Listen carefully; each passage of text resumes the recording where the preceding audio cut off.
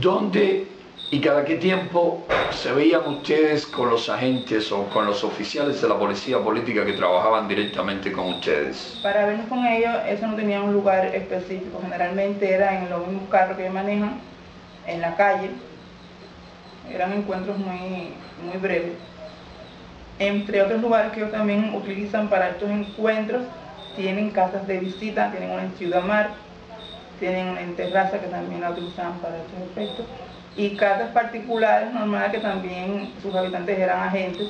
¿Cómo se nombran los agentes, los oficiales de la policía política con quienes ustedes trabajaban? ¿Se presentaban con sus nombres reales o usan también seudónimos? Los oficiales con quienes Guillermo y yo trabajamos eran el teniente coronel Alejandro, jefe de la policía política aquí en Santiago, que su nombre completo es Alejandro Domínguez Artelles y vive en Agüero y el otro, el teniente coronel Blanco, se llama Alexander Blanco. El teniente coronel Alejandro tenía como seudónimo Camilo y Blanco tenía como seudónimo Héctor para Guillermo y Abel conmigo. ¿Recibían ustedes algún bien material, dinero, productos, como pago por su labor a favor de la policía política? Sí, ellos sí pagaban. Ellos, daban dinero daban alimento, daban agua de alimento. Y ellos también te ayudaban en cualquier cosa que necesitaran. Por ejemplo, Guillermo, para que se separara un tiempo de su activismo en la oposición, él les dijo que él quería montar un negocio. Y ellos le dijeron que buscara qué negocio era el que él quería desarrollar. Y él dijo que él quería vender carne. Ellos le consiguieron a Guillermo un puerco ya muerto ya para que él comenzara su negocio. Con tal de que se separara un tiempo de su trabajo. Ellos después de haberle dado el, puerco para que Guillermo comenzara su negocio, también le dieron dinero por encima para que invirtiera, pero el negocio no fructificó, Guillermo gastó el dinero, todo el dinero no, no llevó adelante ese negocio, y entonces ellos después estaban reclamándole que porque él había hecho eso, porque ellos habían invertido dinero y, y productos en eso, para que él pudiera apartarse, y él no lo hizo. Después que él hizo eso, ellos se molestaron mucho con él y le reclamaban que si él era amigo o enemigo, porque estaba ahí. Esta situación de que ellos se molestaran mucho con él ocurría muy a menudo, cada vez que él hacía algo sin consultar con ellos, ellos entonces lo llamaban a cada rato insultándole, diciéndole cosas, que si él era amigo o enemigo, que si él estaba actuando como Víctor o como Guillermo, y que definiera qué era lo que él quería hacer, porque si iban a ser enemigos, ellos iban a actuar como tal y lo iban a meter preso. ¿Qué argumentos utilizaban estos oficiales para tranquilizar su conciencia, porque sin dudas, voluntariamente, nadie se implicaría en este tipo de labor, en este tipo de triste labor al servicio de la infame policía política de la vil dictadura que ha causado tanto daño a nuestro pueblo y que ha hundido a Cuba en la peor crisis de su historia?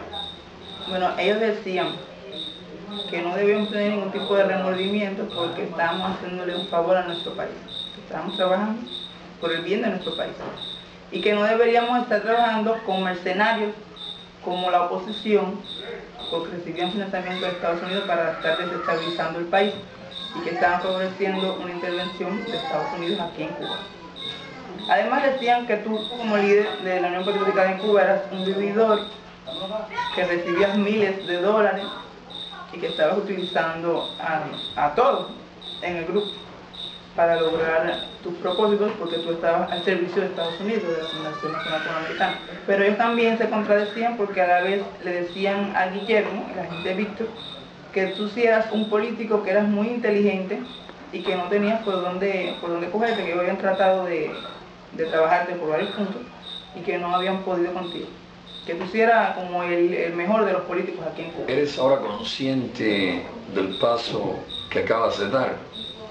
Es decir, al desenmascarar a tu pareja, al hacer público tu compromiso con la policía política, eh, sin dudas corres serio peligro tu esposo viene amenazándote de muerte, venía amenazándote de muerte desde el momento en que comenzaste a exigirle que pusiesen fin a eh, esa labor ¿no? que venían realizando a favor de la policía política.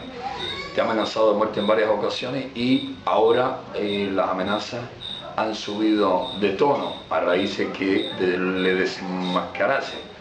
La policía política sin dudas está esperando el momento en que eh, puedan poner las manos sobre ti, están eh, sin duda, te digo más, el plan o uno de sus planes es presionarte al máximo posible, corres el riesgo incluso de ir a prisión durante meses con la intención de presionarte al máximo posible para que te retracte. Luego de que Guillermo Cobas reconociese que eh, sí, que bajo presión, bajo chantaje, estaba trabajando para los enemigos de la libertad del pueblo cubano, ellos nuevamente ejercieron presiones sobre él y le hicieron fabricarse otra historia. Ahora le está diciendo